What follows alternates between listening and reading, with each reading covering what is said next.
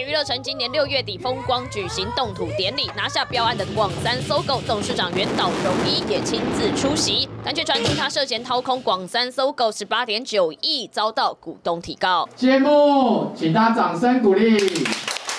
二零二一年，广三重光拿下高铁娱乐城标案，也特别召开记者会，原岛荣一就坐在正中央。检方调查，原岛荣一因为投资高铁娱乐城，发行特别股增资，并且答应四间股东公司六个月后收回，结果却反悔拒收三点五八亿特别股价金。二零二二年遭到股东提告，告诉人律师向检方告发原岛荣一疑似有脱产掏空。检方进一步追查，原岛荣一疑似和公司高层共谋，将资产移转到广三集团其他公司，并涉嫌掏空广三重光资金超过十八点九亿元。今天非常谢谢各位的光临。今年四月三十号，中检还指导广三搜购位于十九楼袁岛荣一的办公室搜索，查扣了相关契约金流，并且发现的关键手写资料上面用汉字记载“背信”二字，让检方认定足以证实主观犯意。